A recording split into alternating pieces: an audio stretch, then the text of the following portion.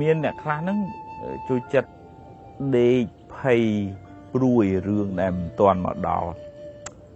អឺតិចលោកចេះទៅតិចលោកចុះទៅតិចមានរឿងនេះទៅតិចមានរឿងនោះទៅអឺដូចបង្កើតរឿងដែលមិនទាន់កើតឡើងចិត្តហ្នឹងវានាំខ្មោចអនាគតកាមកលងខ្លួនឯងហើយអាស្មាភាពស្មាភាពធ្លាប់ជួប អ្នកនោះកើតទៅជាជំងឺភ័យហ្មងគឺថាស្លន់ស្លោព្រួយបារម្ភអារឿងដែលមិនទំនងនឹងភ័យហ្នឹងក៏ភ័យដែរអ្នកខ្លះទៅគ្រាន់តែជិះឡានចេញពីផ្ទះទៅត្នេះត្នោះនោះគឺថាគិតវិលវល់អស់អឺធ្វើការអីមិនកើតគិតតែដេកតែភ័យបណ្ដោយអាហ្នឹងក្នុងក្បួនពេទ្យអាហ្នឹងអាហ្នឹងជាជំងឺមួយប្រភេទដែរអញ្ចឹងបានអាត្មាតែងតា ជូនជាយោបល់ថាអឺយើងប្រុងប្រៀបរៀបចំថាយើងចង់ឲ្យកូនធ្វើនេះយើងត្រូវធ្វើការងារនេះប៉ុណ្ណាតើឥឡូវតើឥ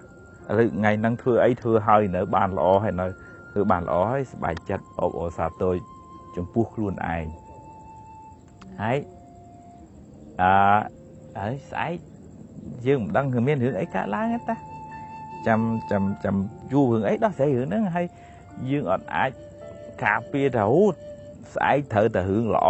អត់បានទេទោះជាយើងមានផែនការ100% perfect ក៏ដោយល្អក៏ដោយប៉ុន្តែ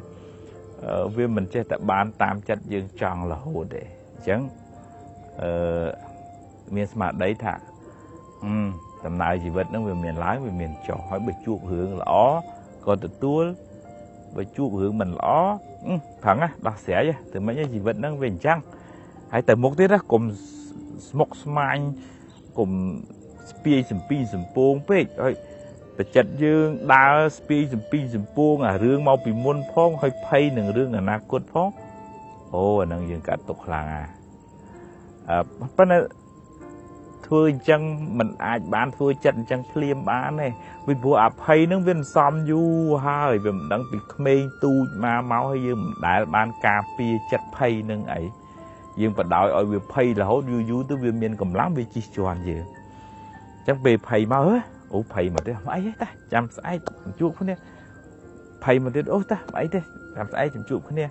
ហើយជួបអ្នកណាមិនមិត្តភ័ក្ដិណាដែលជាអ្នកមានស្មារតីរឹងប៉ឹងជួយផ្ដល់យោបល់ហ្នឹង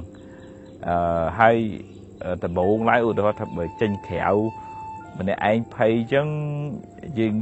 មានមិត្តភ័ក្ដិជូនទៅម្ដងហ្នឹងហើយថ្ងៃក្រោយមកឲ្យគេដកឃ្លាបន្តិចបន្តិចបន្តិចបន្តិចទៅទីយើងមានស្មារតីអាចឈររឹងប៉ឹងខ្លួនឯង